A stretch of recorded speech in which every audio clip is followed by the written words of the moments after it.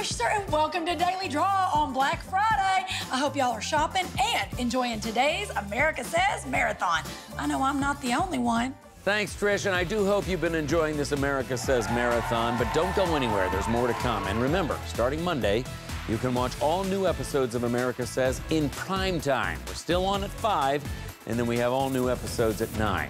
America's got a lot to say, Like- and we're putting it all in play. Pepperoni. So it's back to you, Trish, with tonight's Daily Draw. Well, thank you, Michael. Now, let me hurry up and draw a winner so we can all get back to the America Says Marathon. Ooh, congratulations, Lary S. from Sudbury, Massachusetts, watching us on Xfinity Comcast. Congratulations, you doll. Now, remember, you guys, that the Daily Draw grand prize, 12 draws of Christmas, starts December 10th. So keep those code words coming. Hurry